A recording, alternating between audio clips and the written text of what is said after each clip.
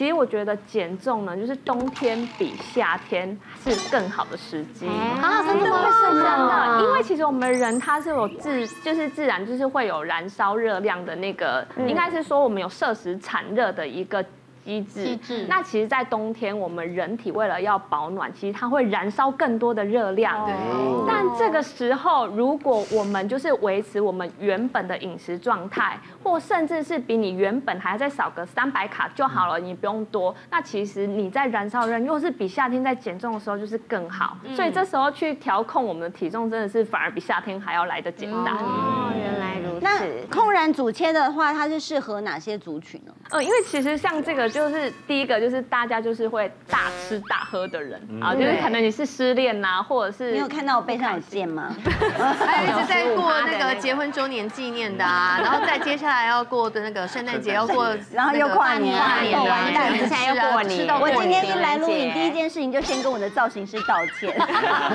静姐来这边还有两盒，太好了，太好了。对，就是你有很多聚餐聚会的人，就是包含现在有连续的节日这种很多大餐，这这这一类的人就是很适合。然后再来就是你没有习动习惯运动的人，对，那当然就是一个被动式的就是辅助的方法。是。然后还有就是代谢不好的人，对。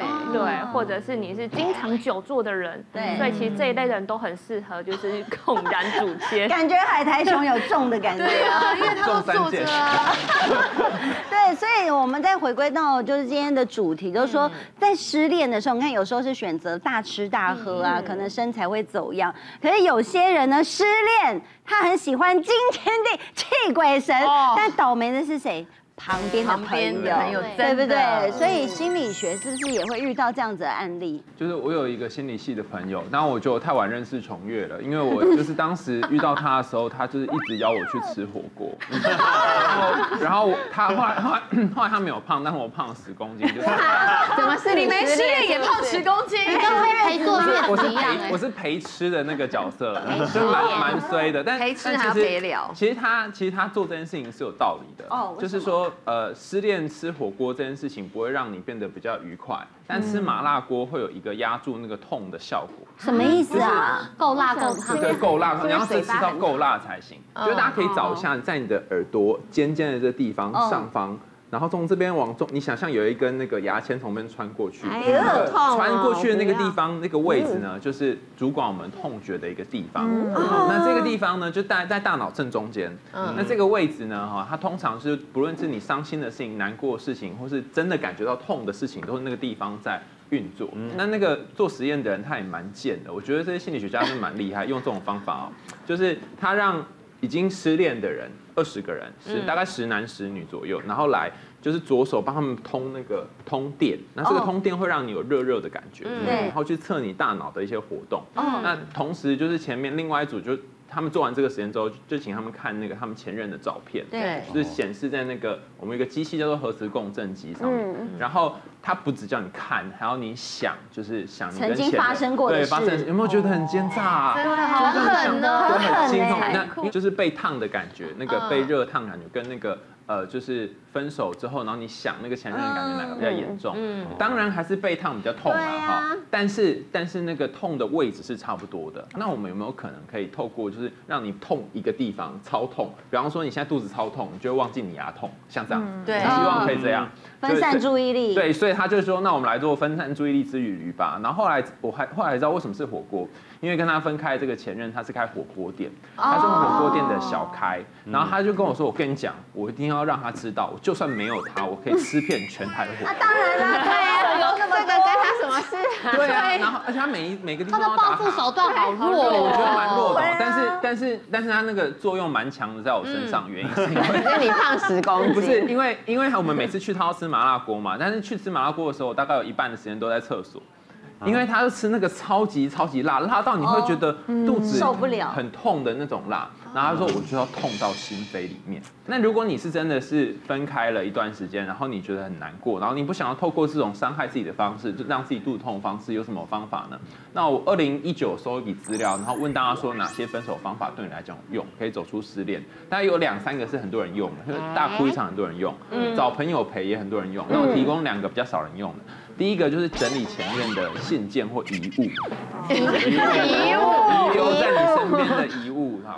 然后另外一个是去旅行啊，你可以自己一个人旅行，如果你没有安全之余的话，那这两个方法是有效的。哎呦，你们有人有用过？有有，我就有用过旅行这个，因为就之前有一次失恋，然后也是抓包男朋友偷吃，然后那时候就好难过，觉得就是真的生无可恋的。然后那时候我朋友就刚好有一个朋友就说，哎，他说我最近想要去澳门玩，不然你陪我一起去好不好？然后想说可以哦，我没有去过澳门，然后就想说好，那我就出国好了，然后就出出去旅游这样子，然后就到那边以后，这边很多赌场嘛，然后那时候我就想说，哎。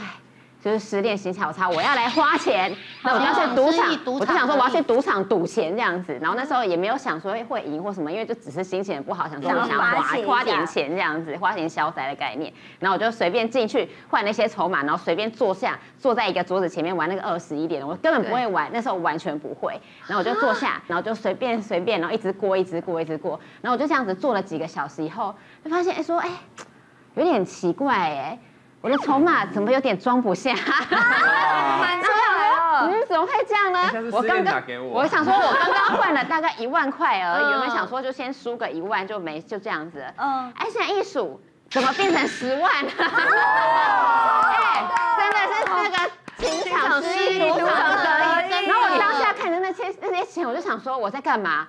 我现在有这些钱，我还失恋什么啊？我还立刻去买东西，然后我就立刻去买了很多。我想说，没关系，我现在刚失恋，我就去买很多性感睡衣。我先准备好，准备好要交下一任。哎，这样很好啊，真的。对啊，所以我跟你讲，出国真的可以，就是失恋就是出国。确定啊？重点是在赢钱吧？重点是赢钱，拿着出国，你说旅行要赢钱，你去麻将桌或是 poker 桌上也可以这样子。的确啊，很多人在失恋的时候选择去旅行，然后就会在旅行当中又邂逅了下一段真的。对，所以这个方法其实蛮好，让自己可以去放松一下，换个环境。其实换个环境，换个心情很重要。我想问一下，哪一些食物就容易造成这个糖化的反应呢？上面有写，烧烤、油炸配啤酒。你在麻将，我们有发营养师，OK。我们讲一点发挥好吗？我们要再次确认好吗？我们刚开路等你就算了，现在还不让我的来宾讲话。我要跟你们请营养师吧。救救 我们！我我先讲食物里面，你要怎么判断这个食物容易让你产生所谓的刚刚糖化这个体质？第一个就是说，它要具备所谓的糖。那刚刚主持人问过，说到底这个糖是我们一般讲的精制糖还是淀粉？其实这两个都包在里面都是对，包括一些你觉得是淀粉类的东西，然后碰上有蛋白质的或者是油脂的，它只要这三个加起来之后呢，具备有三个条件，一个叫做高温，嗯，然后另外一个是长时间。另外一个就是水分少，哦。对，那这样子的情况之下呢，它就是会做出所谓的有糖化的东西，比如说大家很爱的烤牛排。烤牛排，对，因为烤牛排呢，事实上呢，第一个它就是牛排，它是属于高电、高高蛋白质的、高油脂的，然后高温的，另外它水分会变少，哦。所以像这样的情况之下，它就结合了刚刚所有的条件。然后有另外一个食物，我想那个什么烧烤、牛排，如果拿来煎的话，那个大家都知道，煎的可以吗？就是你呃，煎、炸跟所谓的都一样，就是高温的去做的话，其实都是会产生。这样算水煮水煮的呢？对，牛排水煮。没有啊，就是水煮牛肉啊。对，水煮其实因为它有水分比较多，相对它的风险就会降低。对，所以水分多，它风险就低。然后另外还讲到一个，因为刚刚其实洪医师提到那个所谓什么油炸烧烤，那个大家都知道。我讲一个，就是国人很爱吃的烤鸭的烤鸭皮。嗯，对，好好吃哦。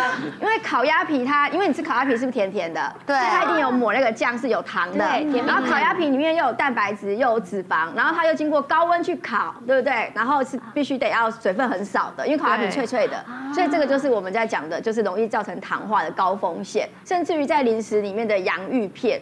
它也是属于，就是我们刚刚会讲造成糖化的作用，哇！所以你必须得要避开这些，所以你烹煮方式你必须得水分多一点，温度低一点，然后时间不要太久，这样就会避开这个所谓的风险。大家可能会想说，哎，糖化的体质最严重不过就是刚才心肌梗塞，那已经很很可怕，瞬间夺命了。可是如果你想起喜欢吃像这种，比如说以蒸奶配鸡排这种搭配啊，又有糖又有油这种搭配，风险就很高。我印象中，我之前才采访一个女生，她呢五十。十出头，五十出头，他一开始是觉得说，嗯，自己好像很容易便秘。后来到最后最严重的时候，他发现，哎，他连续五天都没有办法上厕所。